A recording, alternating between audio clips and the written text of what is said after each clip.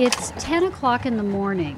The water is a bit high from recent rain, and Jerry Staggs and Jim Hedrick are about to go fishing. What we're doing today is we're using electrofishing, which is an electrical current in the water, and just stuns the fish temporarily so that we can capture them. Obviously, Staggs and Hedrick are not your typical fishermen. They are with the Division of Natural Resources. Their goal is to catch 20 smallmouth bass for a study to determine what is causing the river's male bass to develop female eggs.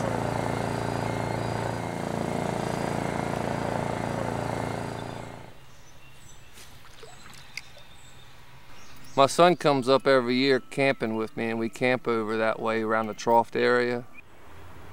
I don't want to eat anything from over there. I think it's bad. For three years, Vicki Blazer has been trying to find out what's going on. She's studying the issue for the U.S. Geological Survey. Um, broadly, intersex is, is any indication that there are characteristics of both sexes in a species that should only have one sex. There are actually some fish that are naturally hermaphroditic or that change sexes throughout their life, but bass don't do that.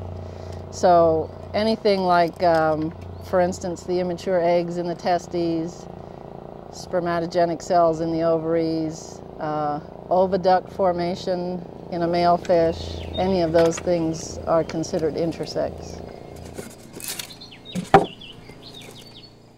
Blazer and her crew have been going to several places along the South Branch since 2003. The study covers much of the Potomac River Basin.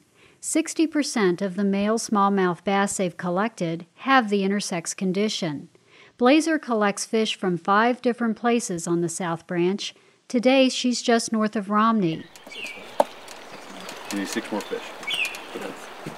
By noon, Blazer and her crew had dissected 14 male and 6 female bass. Yes. I'm bleeding the fish, um, and then back in the lab we centrifuge the blood to get the plasma.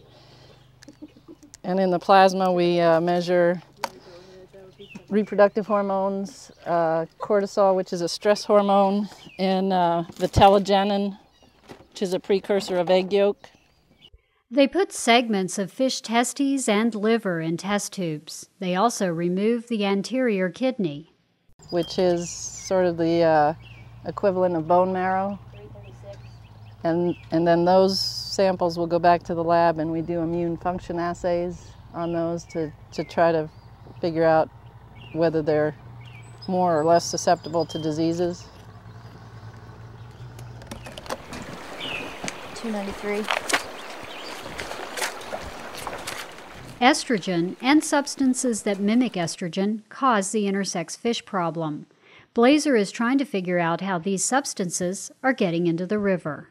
It's not only estrogen or the synthetic estrogens like we have in birth control pills, and, and those sorts of things come from both, both wastewater, human wastewater treatment, as well as agricultural runoff, because animals naturally, humans as well, produce estrogen and testosterone, and so they excrete it. So uh, one source is these intensive animal feeding operations, um, wastewater treatment plants, but then there are a lot of chemicals that act as estrogens. Some of the pesticides, herbicides, uh, plasticizers, things like that. And we don't really know here in the South Branch yet exactly what, what's going on. The U.S. Geological Survey is collecting water and sediment samples for the study. Blazer hopes to find a common link between those samples and tissue samples she's collecting from the fish. She's hoping this will pinpoint where the pollution is coming from. I'm an 18 wheeler mechanic, okay, and I hear drivers talk and everything, and I hear the chicken plant, I hear mills, I hear um, the cabinet place out there in Moorefield. I hear everything, a lot of stuff. For our environment, for me in my environment, I just, I don't know. I don't know how to even explain it. It's hard to see everything go down the drain. Sad. Sad, it's tear jerking. But can't stop progress. You can only go where you think it's clean and hope for the best. For Outlook, I'm Cecilia Mason in Hampshire County.